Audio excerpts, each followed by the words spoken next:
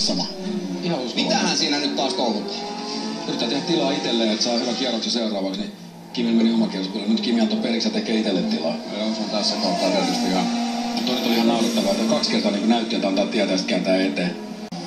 This guy is just trying to go inside of me when I try to pass him. It's just turning. Näin Kimi Räikkönen toteaa saman, että tämä kaveri yritti tulla kyljestä sisään. Tässä nähdään tilanne.